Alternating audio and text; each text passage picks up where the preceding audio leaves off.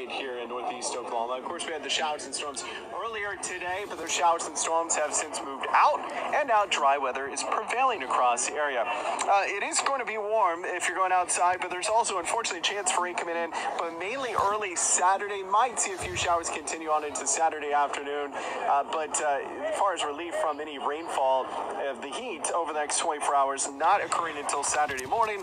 A slim chance on Sunday, but overall for your weekend forecast, we're expecting mid 80s on your Saturday with scattered showers, uh, a few storms possible.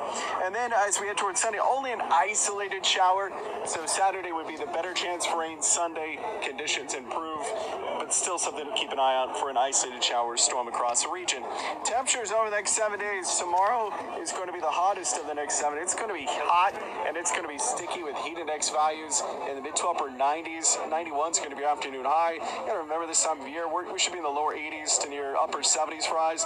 Nowhere near that uh, for tomorrow. Right now we're at 80 degrees, which is normal for this time of year. Very rare for us so far this month to be normal, but we are today and that's because of the clouds and the rain in the area. A little bit of easterly wind at 10 miles per hour. Bartlesville, 72 to start your morning. Pryor, 73.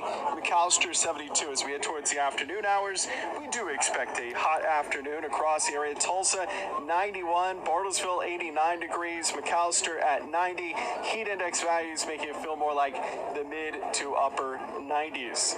All right, looking at the 10 day forecast, we can see temperatures in the lower 90s for your Friday, 80s for Saturday into Sunday. Again, Saturday would be the best chance for rain. And then we're tracking a cool front by the middle to latter part of next week. But when a cool front this time of year keeps you temperatures that still above normal, that's not good. And matter of fact, no real significant cool down inside the next 10 days.